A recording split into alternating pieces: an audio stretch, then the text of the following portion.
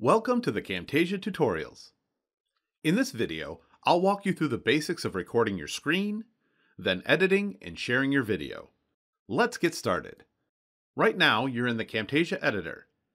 The editor is made up of the timeline, where you can arrange and edit your clips, the tools panel, where your media is stored along with shapes, animations, effects, and more, the canvas, where you can position, resize, and preview your media, and the Properties panel, where you can fine-tune your media and effects.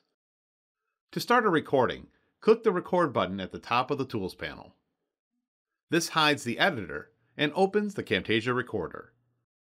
The Camtasia Recorder can record your entire screen, webcam, microphone, and system audio.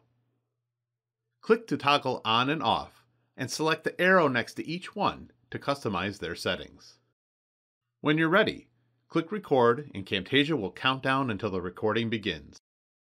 The recording toolbar remains on your screen, but don't worry, it won't show up in your screen recording. Hi everyone, this is a quick tutorial on how to use Google Drive to upload a file and copy the link and send it to anyone that needs the file. Thanks for watching. When you're finished recording, click the stop button on the recording toolbar. And if you're not happy with your recording, choose delete to try again. If you're on a Mac, click the Camtasia icon in the Apple menu bar, then click Stop Recording. The capture automatically appears in the media bin, on the canvas, and on the timeline. Where the top track is audio captured from your microphone, and the bottom track is screen video and system audio. To preview the recording, click the play button or press the spacebar. To jump to a point in the video, click on the timeline or click and drag the playhead to scrub through the video. If there's a mistake in the recording, drag a handle on the playhead to select it and click Cut to remove it. A stitched line appears to show where the media was removed. If you cut too much or too little, click Undo to try again. If you make a selection and want to bring the playhead back together, double-click the playhead.